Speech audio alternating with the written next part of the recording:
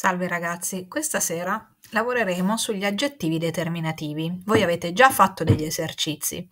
Adesso guardiamo qualcosa insieme. Guardiamo le varie categorie di aggettivi eh, determinativi. La prima categoria, voi la conoscete già benissimo, sono gli aggettivi possessivi. Servono ad indicare la persona a cui appartiene una cosa e hanno diverse forme che voi conoscete, mio, tuo, suo, vostro, nostro, loro, proprio, altrui. Eh, la premessa è che mi sentirete ripetere nel corso del tempo è che gli aggettivi sono sempre accompagnati da un nome, o meglio, gli aggettivi si chiamano così perché si aggiungono a un nome, quindi il nome, il sostantivo, deve essere sempre presente altrimenti li andiamo a confondere con i pronomi, che è il prossimo argomento che affronteremo. Bene, gli aggettivi possessivi sono piuttosto semplici. Vediamo gli aggettivi dimostrativi. Indicano la collocazione di una persona, di un animale o di una cosa rispetto a chi parla, a chi scrive oppure a chi ascolta, a chi legge. Quindi se io che parlo ho un oggetto vicino a me, dirò che l'oggetto di, lo dichiarerò questo oggetto, perché questo indica una cosa che mi è vicina, è vicina a me che parlo. Se invece io indico qualcosa lontano, io dirò quell'oggetto, qualcosa che è lontano rispetto a me che parlo. Va bene? Quindi i principali sono questo e quello, e poi ci sono anche gli identificativi, sono stesso e medesimo. Poi abbiamo gli aggettivi indefiniti, indicano un nome senza indicarne, in, indicando in modo solo generico la qualità o la quantità, quindi qualsiasi, qualunque, qualsivoglia, oppure la quantità, poco, molto, tanto, qualcuno, ciascuno, nessuno, alcuno, tale. Qui in particolare dovete fare attenzione al fatto che ci sia sempre presente un sostantivo, cioè un nome, altrimenti li confondiamo con gli avverbi o con i pronomi. Va bene ragazzi? È molto importante. Qui vi ho messo uh, un'altra scheda presa dal vostro libro che indicano le quantità, sono, ce ne sono tante, io ve l'ho lasciata in modo che voi potete in un qualche modo eh, andarle a vedere, a, a ripassare. Gli aggettivi interrogativi si usano per porre una domanda oppure un dubbio. Quindi, quali sport preferisci? Vedete c'è il punto interrogativo. Quanti sport hai praticato? Punto interrogativo. Qual è la differenza? Che qui si parla di qualità, che tipo di sport. Qui invece parliamo di quantità, quanti sport. Che sport è il curling? È uno sport sul ghiaccio, quindi il che indica un'identità. Gli, oggetti, gli aggettivi interrogativi vengono usati nelle frasi interrogative, sia dirette, cioè quindi trovate il punto interrogativo, oppure indirette, introdotte, quindi non so, dimmi. Hm? Si trovano sempre prima del nome a cui si riferiscono e non sono mai preceduti dall'articolo. Quali sono? Che, quale, quanto o quanta. Al plurale, che rimane sempre invariabile, vedete, al plurale quali, quindi è a due uscite, e quanto invece quanti e quante è a più uscite, vedete? Benissimo. Correggiamo alcuni esercizi che vi ho assegnato per oggi. Io li ho, mh, mm, per eh, questioni di tempo, li ho semplificati, quindi in questo caso io eh, individuo gli aggettivi qualificativi col, sottolineandoli, voi invece dovete inserirli nella tabella. Sacro, maggiore, lo abbiamo già visto tante volte con gli aggettivi qualificativi, con i gradi di comparazione, più lunga,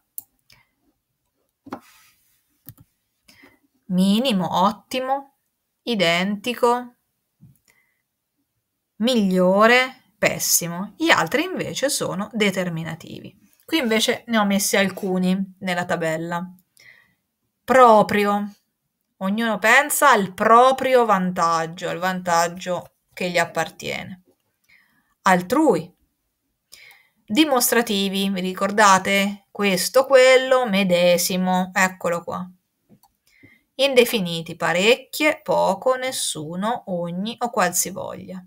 Numerali, questo è il numero in cifre romane, sarebbe, chissà se ve li ricordate, 10 più 5 più 1, quindi 16, doppia o cinquantesimo. Quindi questo è un tipo eh, numerale ordinale. Interrogativi, quali? Esclamativi, quanto, col punto esclamativo. Qui ho sottolineato la forma, eh, la forma corretta degli aggettivi, quindi quella scoperta, alcun errore, nessuna inchiesta, questo perché è femminile e questo è maschile, quegli atleti, quei laghi, ciascun quesito. Qui invece dovevamo aggiungere l'aggettivo possessivo, quindi ho regalato la mia collezione di automobiline a Carlo. Giorgia cura moltissimo le proprie unghie. Con tutti i loro risparmi, Anna e Luca si sono comprati una casa a Rodi. Giulio, quando sono a casa tua, mi sento trattato da te come un figlio. Questa volta abbiamo fatto male i nostri conti. Vi ringrazio per la vostra partecipazione. Come vedete, gli aggettivi possessivi sono i più semplici, quelli che voi utilizzate quotidianamente e non penso che avrete avuto difficoltà a fare questo esercizio. Questi invece erano un pochino più complessi perché erano di tipo esercizi di tipo conclusivo dell'argomento e quindi sono un pochino più antipatici. In ciascuna serie una parola non può essere un aggettivo determinativo. Allora, in questo caso, questo medesimo ogni delle, delle non è un aggettivo determinativo perché questo è un articolo partitivo, così come anche questo. Qui 4, 25, entrambi milione. Milione è un sostantivo, infatti diciamo un milione, due milioni, quindi è un sostantivo. Qui niente, alcuni, pochi, meno. Mm? Stesso proprio se. Qui quando c'è se non usiamo altre parole. Nelle seguenti frasi evidenzia gli aggettivi dimostrativi. Io ho scritto soltanto quelli gli altri determinativi, quindi in questo problema ci sono vari elementi di difficoltà. Questo era l'aggettivo dimostrativo e vari era l'aggettivo indefinito. Saranno gli alunni stessi a raccontare il loro primo giorno di scuola sul blog dell'istituto. Loro è un aggettivo um, possessivo e questo invece è un numerale. Anna possiede molti braccialetti del medesimo tipo. Medesimo è un aggettivo dimostrativo, molti invece è un aggettivo indefinito. Dal discorso di Giacomo emana una tale passione che vince ogni eventuale e perplessità, ogni è indefinito. In quell'armadio trovi almeno 5 camicie stirate, 5 è un numerale. Qual è il contenuto di questa lettera? Vedete c'è il punto interrogativo e quindi è interrogativo. Cancella l'aggettivo indefinito errato, quindi non ne posso più di assecondare ogni tuo capriccio. Qualsiasi sbaglio Andrea abbia commesso merita un'altra possibilità. Non ho ancora fatto alcuna verifica della mia ipotesi. Avrete tutto il nostro appoggio nella campagna elettorale. Ti auguro ogni bene. Quindi è abbastanza semplice. Bene ragazzi, a presto perché eh, fra poco faremo una verifica di, di questi aggettivi, quindi mi raccomando studiate e ripassate. Grazie, a presto.